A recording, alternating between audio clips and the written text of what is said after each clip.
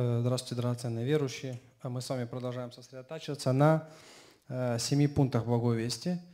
Э, Значит, эм, благая весть – это все. Достаточно только благой вести. Э, Если Евангелие проникнет в любого человека, то начнется действие. Самое большое действие, конечно же, когда Евангелие будет проникать в наших детей. Если Евангелие станет Э, если запечатлеется, укоренится и станет э, сущностью в наших детях, тогда э, Бог, Он не только спасет эпоху через наших детей, через ремнантов, а также и поменяет течение эпохи.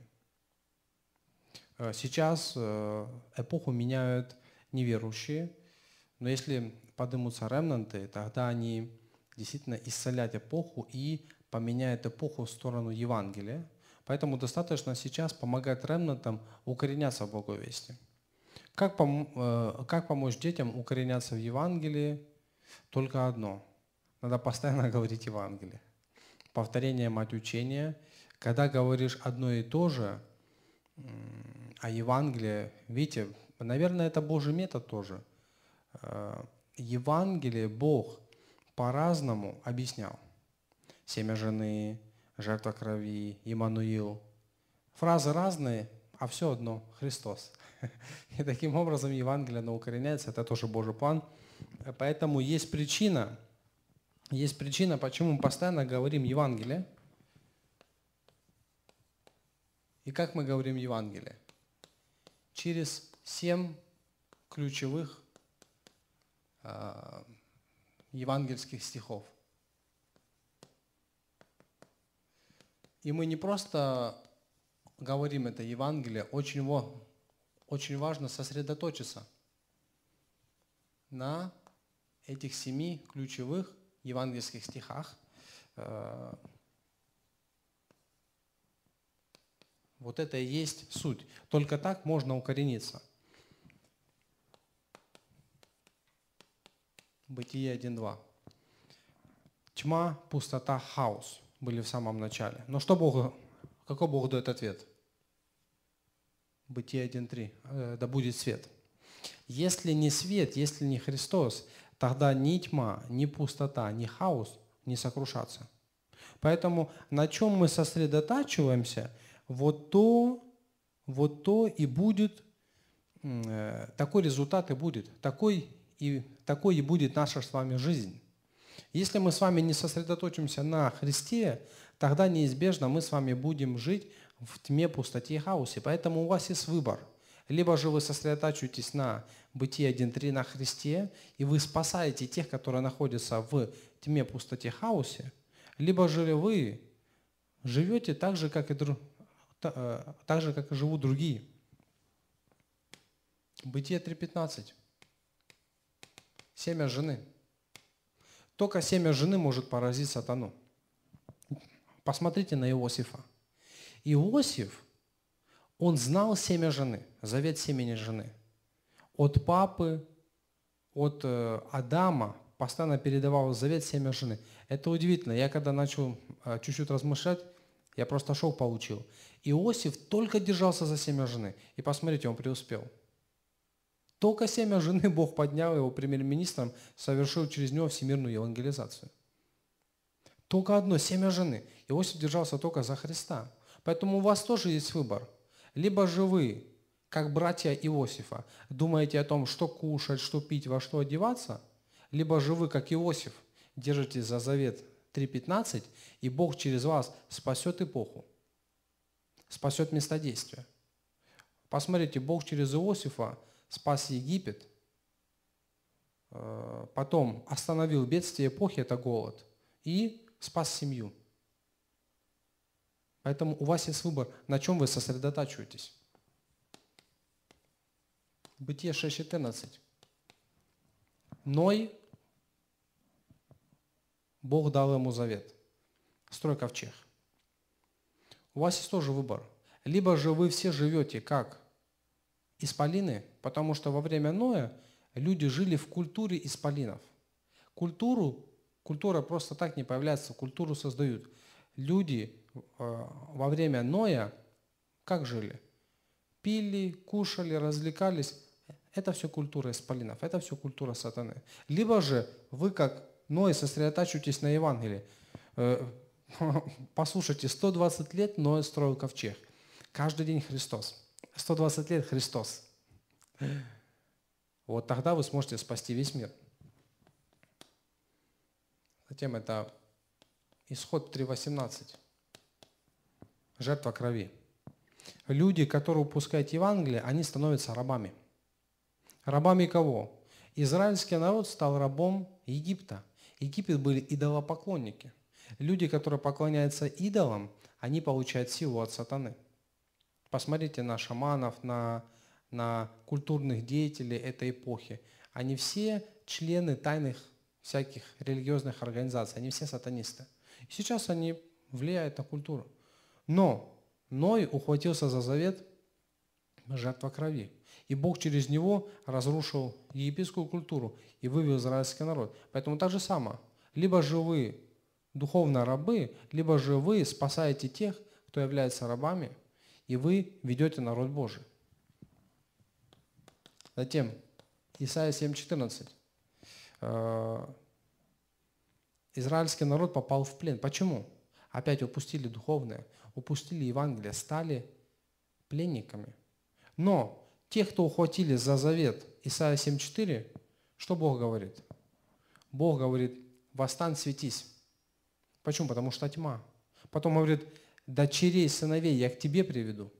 Потом говорит, я проведу дорогу в пустыне, то есть Бог будет делать то, что просто э, невозможно даже об этом себе представить. Потом говорит, э, я сделал вас стражами эпохи. Поэтому на чем мы сосредотачиваемся, это, это влияет на всю нашу жизнь. Это формирует нашу жизнь. Затем стали колонией Рима. Стали колонией э, иудеи. Насколько они, вот, э, они очень умные, э, отчасти они хитрые, где-то это переходит в подлость ради своей выгоды.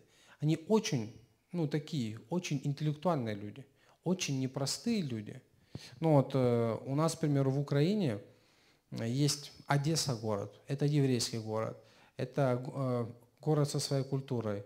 Э, сейчас нельзя рассказывать, но есть прекрасные одесские анекдоты. Вообще, я поражаюсь вообще логике, мышлению евреев. Они непростые люди. Они не могут не завоевывать мир.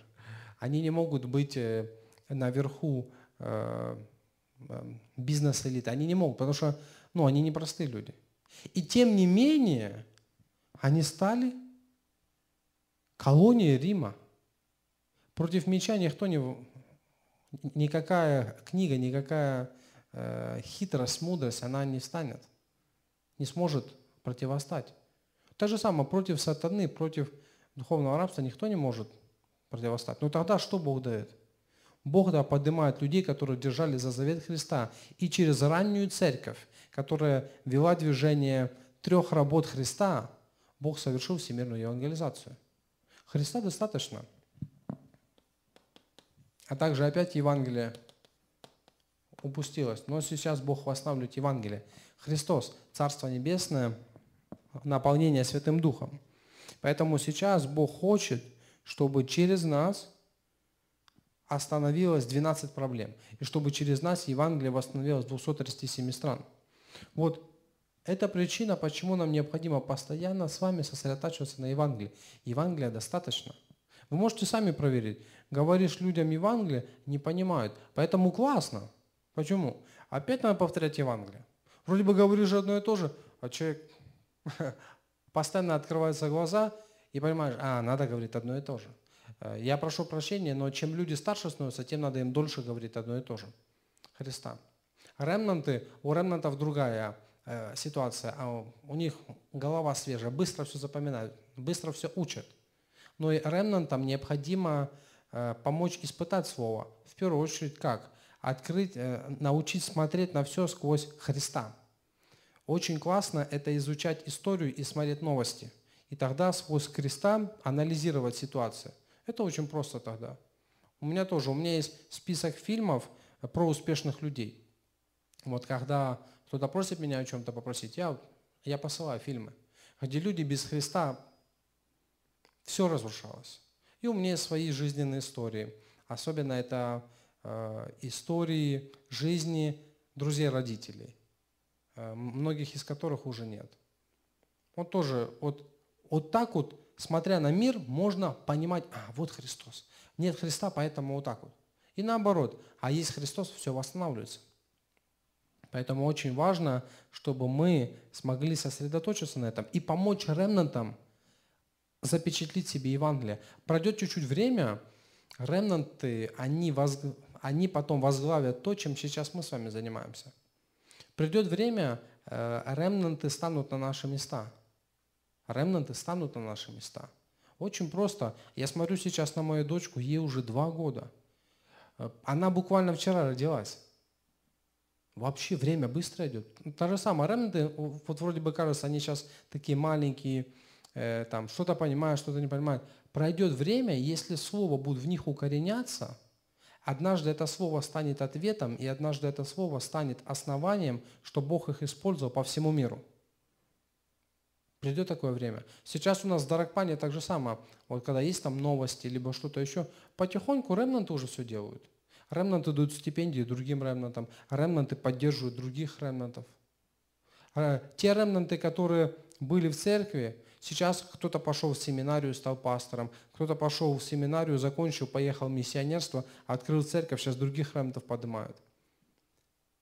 Все время, ну, все, поэтому что делать от нас? От нас делать так, чтобы мы постоянно не сосредотачивались на Христе. И опять же, как сделать так, чтобы запечатлеть Христа? Очень просто. Постоянство, повторение, сосредоточенность. Всегда надо Христос. Христос, вот этого достаточно. Если нет Христа, вот в этом проблема. Итак, сегодняшняя у нас с вами тема сосредоточенность на Бытие 3.15. И исцеление Бытия 3 главы.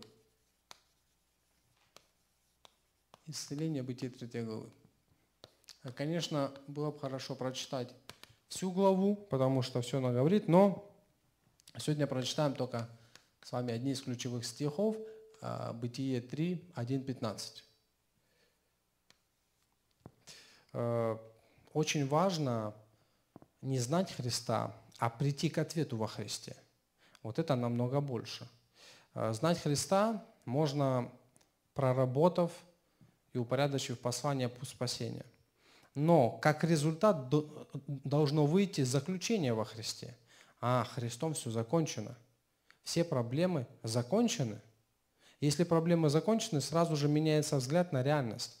А, те проблемы, которые сейчас у меня, это не проблемы. Почему? Я уже на стороне семьи благословений.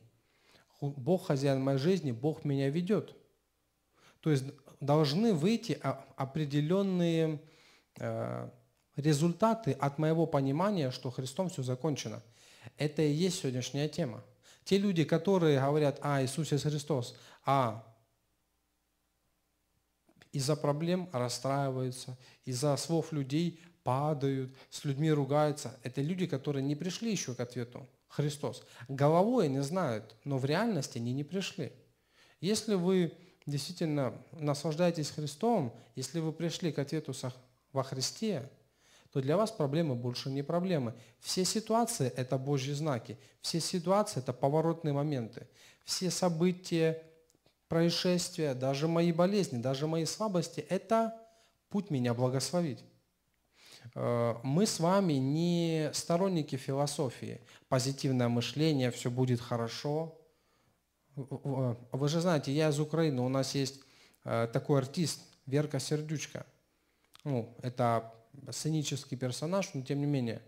Есть песня «Хорошо, все будет хорошо». Даже этот Андрей Данилко, он, э, он в депрессии постоянно. Он очень богатый, очень влиятельный, действительно простой, действительно добрый, открытый, искренний человек.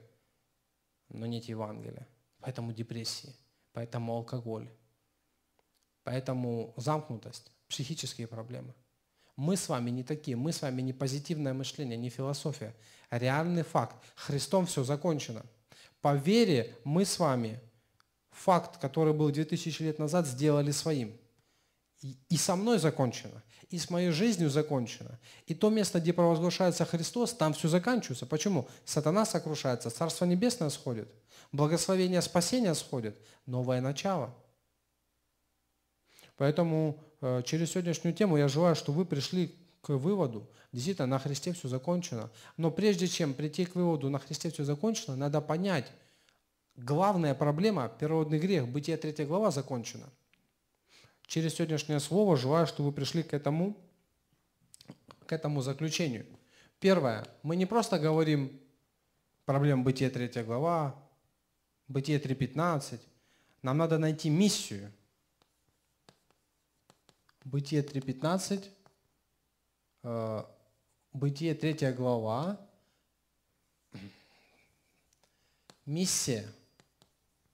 Миссия Бытие 3 главы и Бытие 3.15. Какая миссия? Христос, закончивший все.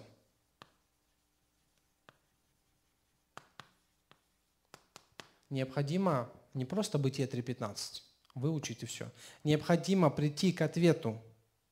Христос, который закончил все. Вот это есть миссия, которую Бог желает, чтобы мы с вами нашли. Что говорит сам Христос? Иоанна 19.30. Все совершилось. Это слова нашего Господа Иисуса Христа. На кресте все совершилось. А, все закончено. It is finished. Все закончено. Что закончено? Не просто мы говорим, все закончено. Очень детально мы объясняем. Проблемы прошлого закончены. Проблемы прошлого. Какие проблемы, какие проблемы прошлого? Ефесянам 2.1. «И вас, мертвых по преступлениям и грехам вашим». Грех. Мы с вами из-за греха, мы с вами были мертвыми, смерть. Поэтому Христос, Он нас оживил, потому что мы вне Христа, мы были духовно мертвыми из-за греха. Также Ефесянам 2.2, в которых вы некогда жили по обычаю мира, по воле князя – духа, действующего ныне в снах противления. То есть Христос решил проблему сатаны. Почему? Потому что сатана через культуру этого мира, что он всех людей держит в судьбе. В судьбе. Судьба. У сатана есть, у сатаны есть своя стратегия, как он всех людей от рождения до смерти, как он держит их в своих руках. Вот это называется судьба. Никто избежать не может. А Христос закончил. А также третье, Ефесянам 2.8, 2.6, Ефесянам 2.6.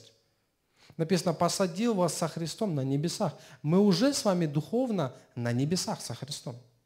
Плотью еще здесь, но наше небесное положение какое? Мы уже с вами во Христе, а, со Христом на небесах. То есть это проблема ада. Мы, которые должны были пойти в ад. Христос закончил это, поэтому все, проблемы, а, вот здесь первое, проблемы прошлого. Второе, это проблемы настоящего. Ефесянам 2.2. И третье, Ефесянам 2.6. Это проблемы будущего. Проблема ада закончена. Поэтому, если вы упорядочите вот это, это что? Грех, сатана, ад. Что это? Это и есть Бытие 3 глава. Вот эти проблемы пришли из-за Бытия 3 главы. Поэтому Христос, что Он закончил? Что после того, как Христос умер, каждый, кто верит, сразу на небо пошел? Нет. Христос закончил Бытие третью главу. Бытие третью главу. Физически, да, мы, может быть, мы еще на этой земле, но духовно во Христе проблем Бытия третьей главы уже закончена. Поэтому, э, почему мы так говорим? Все проблемы, они приходят из-за Бытия третьей главы. Поэтому, если решишь Бытие третью главы, остальные проблемы сами решатся. Поэтому мы говорим, решение бытия третьей главы – решение всех проблем. Если вы вот это поймете, а, все совершилось, тогда вы действительно поймете, что такое бытие третья глава. Немножечко нарисовать. Вот вы поймете, первое, во время бытия третьей главы, после бытия третьей главы, что произошло? Произошло разделение. вот сегодня в сегодняшних стихах можем с вами прочитать Бытие 3 глава с 1 по 6 стих. Какое разделение? Произошло разделение между, ну, другими с вами, с Богом произошло разделение.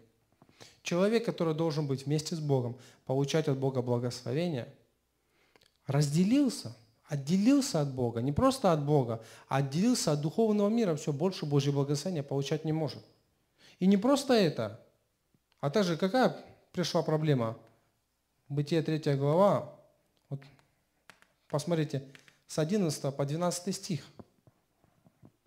Разделение человека с человеком. Человек с человеком. Вот когда, когда Адам с Евой согрешили, что произошло? Сразу же пришло что? Обвинение пришло. Обвинение. Бог говорит Адаму, Адам, зачем ты вкусил? Адам сразу говорит, жена. Бог говорит Еве, Еве, зачем ты вкусила? Это змей. Вот это есть состояние уже грешника. Постоянно, а из-за этого человека, из-за этого проблемы человека. Вот если бы этого человека не было, вот было бы так. Обвинение, постоянно обвинение. Поэтому обвинения пришли когда? После разделения с Богом. Поэтому что делает сатана? Сатана, он всегда нас разделяет с Богом. И в результате что пришло? Не только пришло обвинение, проблема человека с человеком, а также э, что произошло? Неверие. Неверие вошло в жизнь человека. Поэтому постоянно что делает сатана? Постоянно дает нам неверие. Неверие относительно Бога, относительно Божьей любви, Божьих благословений. Также какая еще пришла проблема? Посмотрите. Бытие 3 глава, вот здесь, да, можно посмотреть вместе 16 э, и 17-18 стих. Бытие 3 глава, 16 стих. Что здесь говорит? Э, Бог говорит Еве, теперь э, скорбь твою умножу в беременности. Скорбь. Вообще, ну как бы, Э, нельзя сказать, что вот рождение детей вот это вот скорбь. Нет. Бог дал повеление, плодитесь и размножайтесь. Но после грехопадения процесс рождения ребенка стал приносить боль. Вот. А вообще рождение детей – это и есть благословение. Поэтому вот пришли вот такие страдания пришли. И потом 17-18 стих говорит Адаму, теперь ты будешь, говорит, проклята земля за тебя. И будешь питаться вот э, тернии, волчцы, будешь э, питаться полевой травой. То есть вот это есть результат. Какой результат? Земля проклята. Потом стали приходить психические проблемы, э, физические проблемы. Вот написано, Еве говорит, будешь иметь влечение твое к мужу. И не только это, но грех теперь стал передаваться всем людям.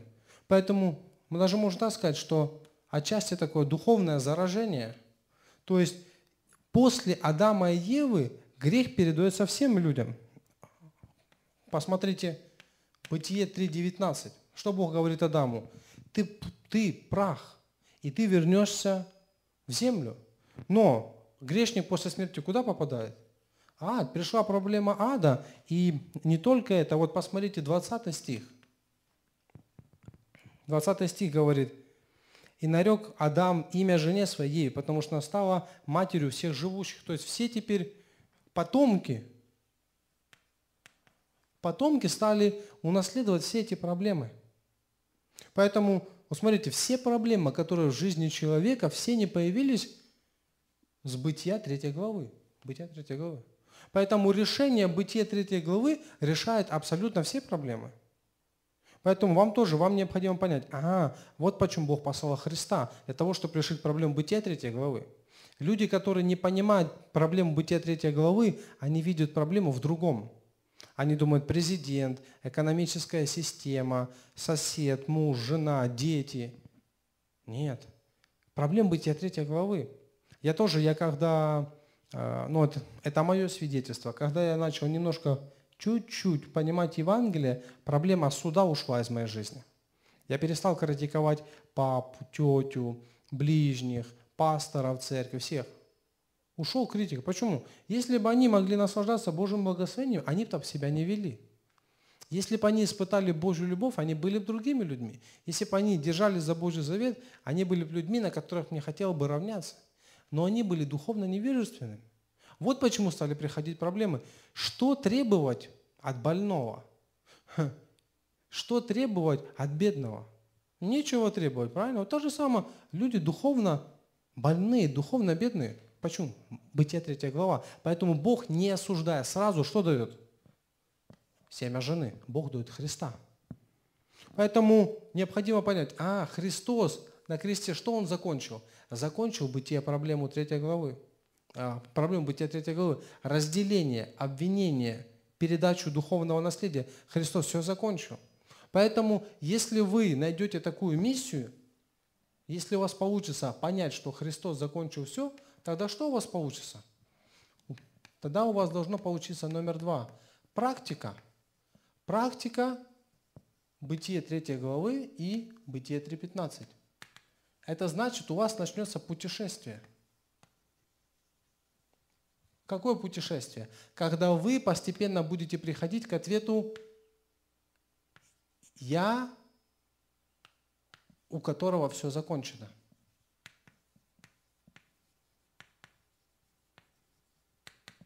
Если у вас есть Христос, который все закончил, то ваша жизнь тоже все закончено. Это что значит? И теперь, какие бы ни были ситуации, кризисы, проблемы, конфликты с людьми, это больше не проблема. Вот это есть я, у которого все закончено. Почему? Проблема всех проблем – это Бытие 3 глава. Но Бог дает сразу. Бог дает ответ. Бытие 3.15. Что Бог, что Бог говорит? Семя жены. Другими словами, семя жены, то есть не от человека придет. Что значит семя жены? Это и есть благословение пророка. Христос, Он пророк. То есть Он показывает путь.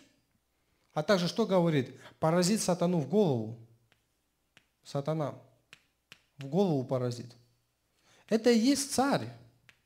Христос придет как царь, он поразит сатану в голову. Поэтому все станет основанием. И третье. Говорит, ну, сатана будет жалить в пету. Вот кто-то задал вопрос, э, что значит жалить в пету? Христос пришел на небо, э, Христос пришел на землю, совершенный Бог. Ну как сатана его действовал? Как сатана атаковал? Через плоть. Поэтому жалить пяту – это значит крест. То есть э, единственное, как сатана, он атаковал, сатана, э, а, атаковал Иисуса, это крест. Поэтому сатана, он, он специально распял Иисуса на кресте. Но священник, наоборот, через крест Христос пролил свою кровь. За кого? За нас пролил кровь свою. Поэтому теперь исцеление придет в нашу жизнь. Что это значит? Что значит путешествие? Что, в чем мне надо практиковаться? Мне надо практиковаться, чтобы найти ответ. Я, у которого все закончено.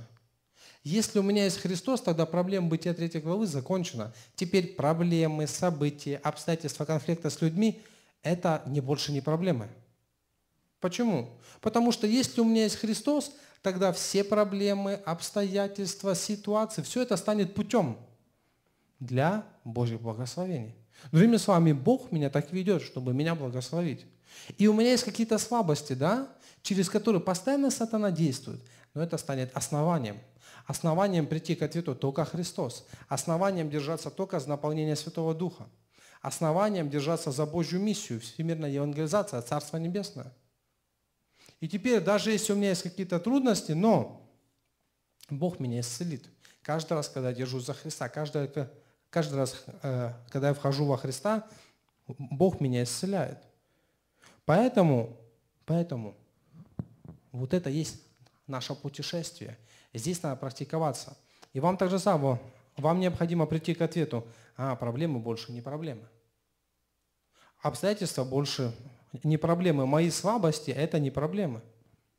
Почему? Христос все закончил. Этот Христос сейчас во, мной, во мне. Он со мной. И теперь все, что у меня есть, это благословение. Поэтому очень важно не обманываться. Но в чем проблема? Верующие обманываются. Могут устами говорить, там, Иисус Христос, всемирная евангелизация, а посмотришь на жизнь. Из-за маленьких трудностей начинают впадать в конфликты, начинают впадать в искушение, отчаиваются. Я тоже, я удивился, э, не помню, но кто-то там говорил, вот я там не поступил в университет, там, э, вот почему так, там, неделю дома сидит, трубку не берет. Я вообще удивлялся. Если ты не поступил в университет, то здесь только два варианта. Первое, либо же Бог хочет э, поменять тебя, чтобы ты нормально учился, а не готовился тяп и только думал, что Бог все сделает. А Бог хочет тебя действительно э, сделать какое-то новое начало, заложить в тебе правильную основу. Поэтому э, не получается с неправильным, но Бог хочет, чтобы получилось с правильным заново. Либо же второй план. У Бога план, чтобы ты был в другом месте. Вот и все. Но впадать, э, там, всякие там огорчения, сидеть дома, это что такое вообще? Вот тоже недавно мне один там студент написал мне, о, э, у меня сейчас такой тяжелый, э, мне кажется, я сейчас в своей жизни веры, я испытываю испытания. А, как бы моя вера сейчас проходит испытания. Вот я хотел э, там поступить, но я не поступил, и теперь мне пришлось уехать в другой город, и теперь вот я не знаю, как так. Но слово «испытание» в данном контексте было, э, вот, ну, как, как бы я сейчас колеблюсь вообще, Бог живой, не живой, Он в моей жизни действует, не действует. Не то, что, а, сейчас Бог меня ведет чему-то. Э, если это Бог так допустил, то значит тебе не надо там учиться. Если ты поехал в другой город, значит Бог хочет через тебя там совершать Божье дело. Аминь, Бог, спасибо, класс, я еду. А такого нет. Почему? Потому что до сих пор видимые проблемы проблемами являются. Проблемы больше не проблемы. И если вы придете к ответу, а, и в моей жизни все закончено, Христом все закончено, проблемы, проблем бытия третьей главы закончены, тогда что должен появиться? Должен выйти у вас форум. Форум бытия третьей главы и бытия 3.15. Какой форум должен появиться? Можно так сказать. Жизнь, в которой все закончено. Не просто я, с которым все закончено, у которого все закончено, а жизнь моя тоже, в которой все закончено. Это что значит? Все трудности, которые в моей жизни, конфликты с людьми, Возможно, какие-то э, кризисы, да, к примеру, как коронавирус, обстоятельства, потом события. Это больше не проблема. Но это есть Божий метод. Это Божий метод, чтобы меня благословить, чтобы в моей жизни совершить свой план. И все вот эти ситуации, это есть Внутри них есть Божий план. Поэтому что надо? Надо просто найти Божий план. И внутри всего этого Бог хочет дать мне новый завет. Вот я тоже смотрю на себя, Бог меня в Корею привел.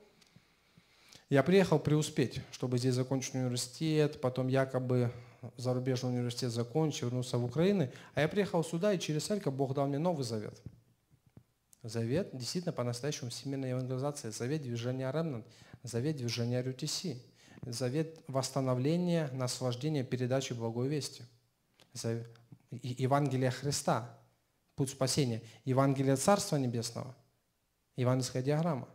Вот Бог дал мне новый завет, поэтому я сейчас очень благодарен. Конечно, э, ну есть такое, да, там хочется вернуться там домой, к семье, но я понимаю, здесь Бог для меня приготовил новый завет.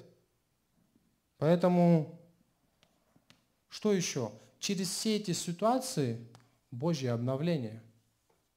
Бог хочет меня обновить ради того, чтобы дать мне еще больше завет. Потому что с тем сосудом, который у меня сейчас, не получается дальше идти. И во всем этом есть Божье будущее. То есть у Бога есть определенный план, как Бог хочет меня использовать. Поэтому если у вас получится Христос, закончивший все, я, у которого все закончено, и жизнь, в которой все закончено, тогда заключение, вы станете человек только. Что значит человек только? Можно так сказать. Мерила. Мерила. Как вы будете все измерять, это станет Бытие 3 глава. Те люди, которые находятся в Бытие 3 главы, что бы у них ни было, образование, положение, навыки. Нельзя сказать, что неверующие плохие. Они очень усердные люди, очень искренние люди. Они действительно хотят быть счастливы. Но если, но если они в Бытие 3 главе, ничего не получится. Ни проклятия, ни свои грехи, ни свои слабости, через которые действует сатана, ни родовое проклятие, ни проблемы мира, которые сейчас просто, э, ну, люди сейчас ничего не могут сделать. Этот человек сам с этим справиться не может. Так это только земной мир, а духовный мир, а проблема ада, а проблема потомков. Вообще ничего не получается. Вообще ничего не получается. Я очень рад, что я немножечко изучил социальную философию, философию, политику, статистику, медицину. Сейчас а, Бог пооткрывал мне про три организации, про масонство. Э, также Бог дал мне такое влечение, это вот я люблю, э, не то что люблю, но раньше я там коллекционировал э, этот, афоризмы, потом крылатые выражения успешных людей. Я очень рад, что Бог меня научил. Все в этом мире, оно действительно суета-сует. Действительно суета-сует. И ничто не может остановить духовное проклятие. Поэтому у вас все станет ответом, мерилом, диагностикой, анализом, зеркалом. Все станет бытие третьей главы. И тогда вы придете к ответу. Какой ответ? Только Христос. Только Христос. Мы не говорим Христос, мы говорим только Христос. Потому что только Христа достаточно. Когда только Христос, тогда действует Дух Святой. Э, люди, которые получили этот ответ, они больше к старой жизни не возвращаются. Почему? Потому что только Христос. Во Христе уже все есть. Э, если вы станете человеком, который на все будет смотреть с бытия 3 главы, и человеком только Христос, тогда Бог начнет вас использовать. Использовать по всему миру. И даже если сейчас у вас ничего нет, ну не страшно. Ну, потому что ничего, наше ничего не надо. Завета достаточно. Божьей силы достаточно. И тогда Бог через вас начнет поднимать других ремнантов. Э, единственное, что необходимо иметь, это иметь постоянство. Потому что сатана постоянно атакует, чтобы только Христа не было. Он разбавляет Евангелие. Поэтому люди, которые не пришли к ответу только, это люди, которые в процессе. Надо их ждать, надо им помогать прийти к ответу только. Вот тогда, когда они придут, тогда начнется настоящее. Настоящая жизнь веры, настоящий ответ. Давайте помолимся. Всемогущий Бог, спасибо Тебе, помоги нам на этой неделе найти Христа, который все закончил, найти себя, у которого все закончено, и приобрести жизнь, в которой все закончено. Помоги стать свидетелями только Христа. Используй всех наших верующих, которые слушают это Слово, чтобы через них повсеместно Евангелие Христа было распространено и поднялись ремнанты, подрастающее поколение. Благодарим Тебя, прославляем, молимся именем Иисуса Христа. Аминь.